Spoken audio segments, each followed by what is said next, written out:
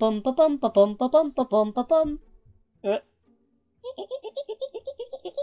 Bonjour. Eh, mais qui êtes-vous? Mais qui êtes-vous? Je m'appelle Émile, Émile Durkheim, mais vous qui êtes-vous? Weber, Max Weber. Oh mon cher, de quel paradigme allez-vous nous parler? L'individualisme méthodologique et vous-même, mon cher Émile. Oh, vous savez, moi, les paradigmes, j'aime bien euh, les choses qui reprennent la société dans leur ensemble. Arrêtez, vous me donnez le tournis. Bienvenue dans cette nouvelle vidéo de la Sociothèque. Alors, petite vidéo rapide pour vous présenter quelque chose d'essentiel pour comprendre les sciences sociales. C'est la question des paradigmes. Les paradigmes des sciences sociales, c'est tout de suite générique.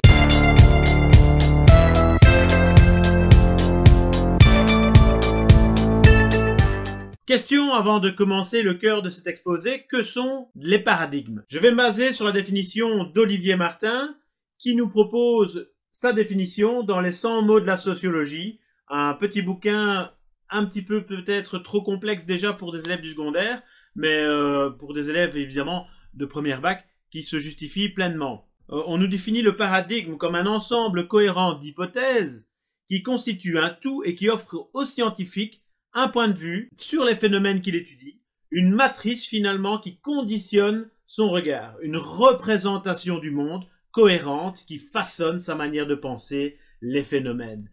Le paradigme, c'est une façon de voir les choses. Il y a aussi des paradigmes en sciences sociales et c'est ce que je vous propose d'explorer aujourd'hui. Nous allons explorer cinq paradigmes des sciences sociales, cinq visions de la société qui se, parfois se complètent et parfois se contredisent. Pour aborder facilement cette question des paradigmes, j'ai repris l'idée du pratique des sciences sociales. Dans ce manuel, on nous propose en fait cinq métaphores pour penser les paradigmes. La première métaphore, je l'ai reprise quasi telle quelle que du texte, c'est le corps humain, l'organisme. Selon ce premier paradigme, la société est perçue comme un organisme composé de différents organes qui vont fonctionner les uns avec les autres, parfois avec certains dysfonctionnements, pour faire tenir l'ensemble qui est le corps humain en général ou l'organisme vivant en général. On retrouve dans ce paradigme certains auteurs comme Robert Merton, qu'on étudiera ici sur la Sociothèque, ou encore euh, Émile Durkheim, qui est considéré par certains euh, comme euh, fonctionnaliste, puisqu'il s'agit du nom de ce paradigme. La seconde métaphore qui va nous aider à découvrir ce qu'est le second paradigme, je l'ai un petit peu traficoté par rapport au bouquin Le pratique des sciences sociales, puisque je considère que le second paradigme, c'est un peu un match de football entre deux équipes qui tentent de gagner la partie. Avec cette précision, c'est que certains matchs sont truqués et que chacun des acteurs pense que euh, le match ne l'est pas, le résultat est ce qu'il est, étant donné que le match était truqué, bah, c'est toujours l'équipe qui devait gagner qui gagne, mais ceux qui ont perdu croient que c'est vraiment les meilleurs qui ont gagné. Je trouve que cette métaphore est assez bien euh, euh, tapée que pour comprendre ce paradigme qui est le paradigme structuraliste, un paradigme holiste, c'est-à-dire qui voit la société vraiment comme quelque chose d'ensemble qui va contraindre les individus. La société impose des règles aux joueurs de football qui, eux, avec un petit peu les cartes qu'ils ont en main, vont essayer de remporter le, match. On est dans un paradigme où la société est perçue comme un champ de confrontation et évidemment Pierre Bourdieu est sans doute l'auteur qui est le plus marquant de ce paradigme. Mais Karl Marx, euh, autre auteur illustre, plus vieux que Bourdieu évidemment, est aussi à classer dans ce paradigme. Troisième paradigme, il s'oppose totalement avec le précédent, c'est le paradigme qui est lié à la métaphore du marché. Sur un marché, chaque individu va agir en fonction de ses propres besoins, selon ses propres intérêts, va essayer de trouver les meilleurs produits au meilleur prix, sans se soucier de ce que font les autres.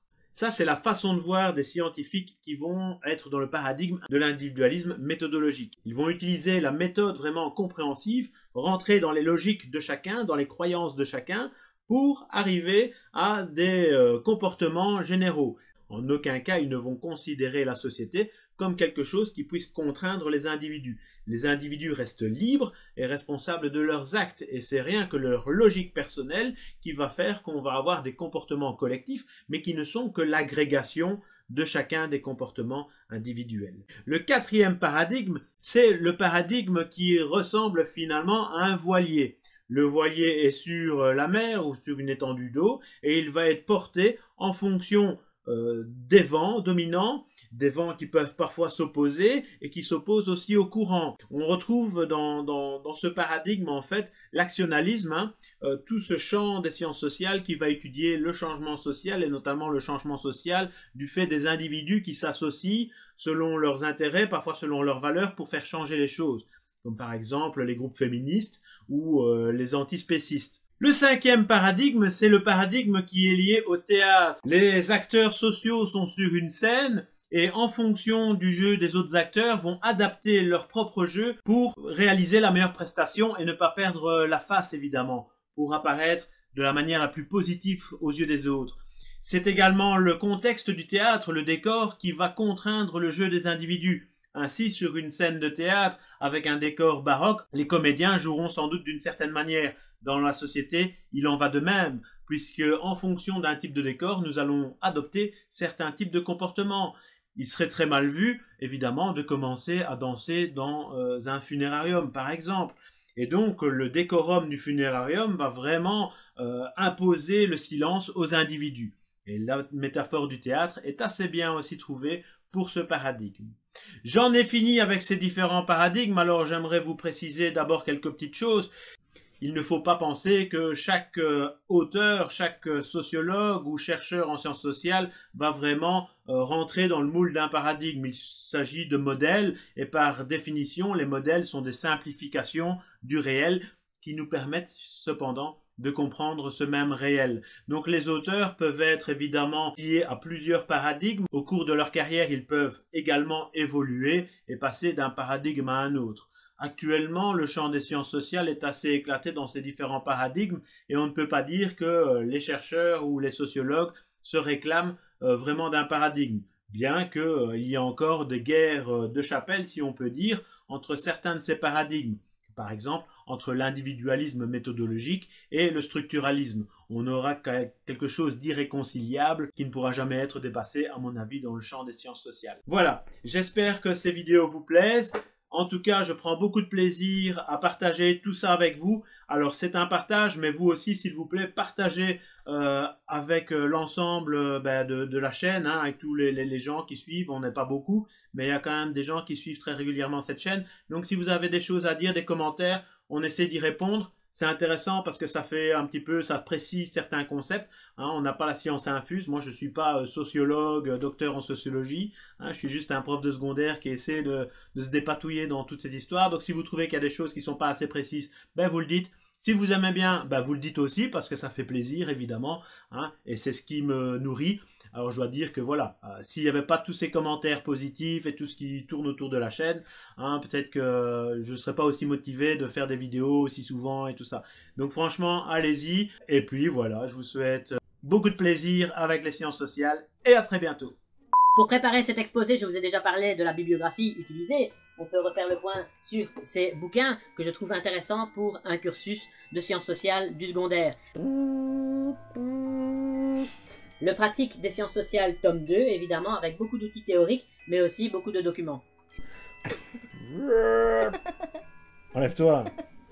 On a bien sûr les 100 mots de la sociologie, je vous en ai parlé. Tu dois reculer un petit peu, Julien. Et enfin, ce bouquin-ci, je vous en ai pas parlé aujourd'hui, mais euh, je m'en sers beaucoup euh, pour parfois remettre l'idée à place. Il est de Nathalie Rigaud, qui est professeure de sociologie à l'université de Namur, pour les élèves de première bac, si je ne me trompe. Regarde, tu dois pas. Mais tu te mets plus ou moins au même niveau que moi, voilà. Et ici, on a vraiment une initiation à la sociologie par les sept sept grands auteurs, je vais pas dire les sept plus grands parce que c'est pas les sept plus grands, mais en tout cas sept auteurs vraiment intéressants, dont Bourdieu bien sûr, on parle de Weber, de Weber on parle de Durkheim, il y a des exercices, alors euh, pour mes collègues professeurs de sciences sociales, euh, des exercices sont proposés aussi en ligne, avec ou sans corriger, il y en a quand même un bon nombre. Non, là t'es trop loin, revenez, revenez monsieur.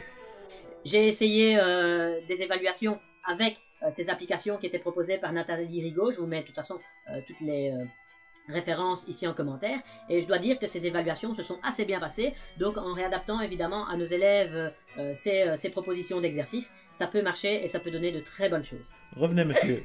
Plus près. Non, eh, coup de boule, tu me fais un coup de boule toi.